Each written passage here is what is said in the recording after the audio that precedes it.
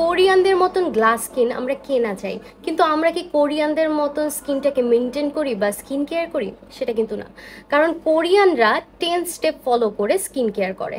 আর আমাদের রেগুলার লাইফে এটা খুবই ব্যয়বহুল এবং সময়সাধ্য কাজ।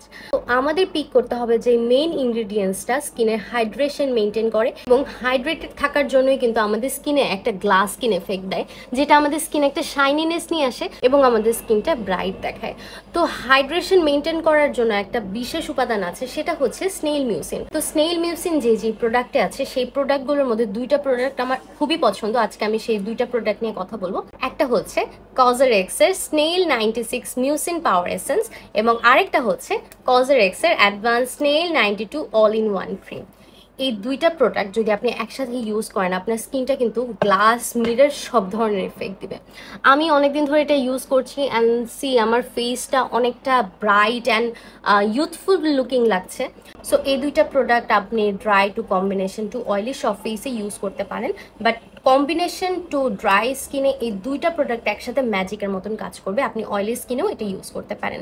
এই এসেন্সটা as a serum or essence আপনি ইউজ করবেন এবং তারপর এই ক্রিমটা যদি ইউজ করা হয়, তাহলে হবে এটা একটা বেস্ট কম্বো এই সিরামটার টেক্সচারটা যদি আমি দেখাই, এই সিরামটার টেক্সচারটা কিন্তু স্লাইমি একদম ক্লিয়ার একটা সিরাম এটা।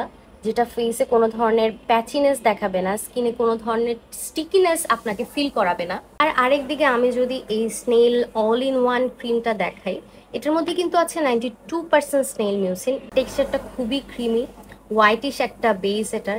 অ্যান্ড এটা কিন্তু স্লাইমি বাট নট স্টিকি স্কিনে দেওয়ার পর খুব স্মুথভাবে মিশে যাবে। স্কিনটাকে অনেক হাইড্রেটেড রাখবে এবং স্কিনের ময়শ্চারটাকে ধরে রাখবে।